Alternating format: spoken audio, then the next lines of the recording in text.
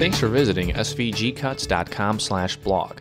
In this video tutorial, we're going to show you how to make your newly installed fonts appear, or just give you some troubleshooting techniques in case you're not seeing the new fonts that you installed. We already have video tutorials that show you how to install new fonts for both Windows XP and Windows Vista.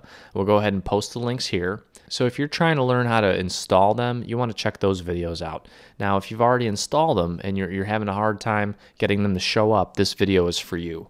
Okay, so the first thing that we're going to want to do is we're going to want to go under the edit option and go under preferences. And under preferences, you want to make sure that this use full font scan option is checked. Okay, I think by default it is not checked. So you want to make sure that it's checked and then you're going to hit OK. Okay, now once you have that new font installed, some people for some reason believe that it might show up here under the shapes library. That's not the case. Okay, in order to see those new fonts, you click on tools and you click on the type tool here. And this is the list of fonts that are currently installed.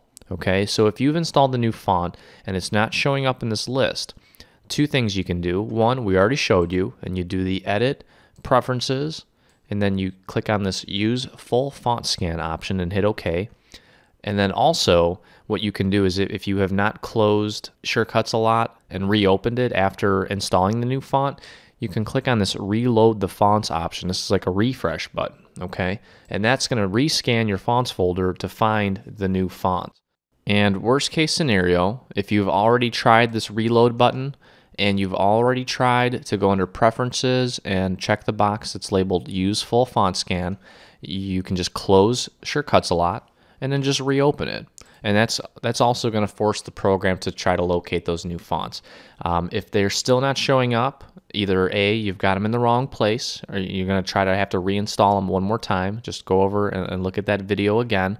Or that font that you're trying to install is corrupt or damaged or is not compatible.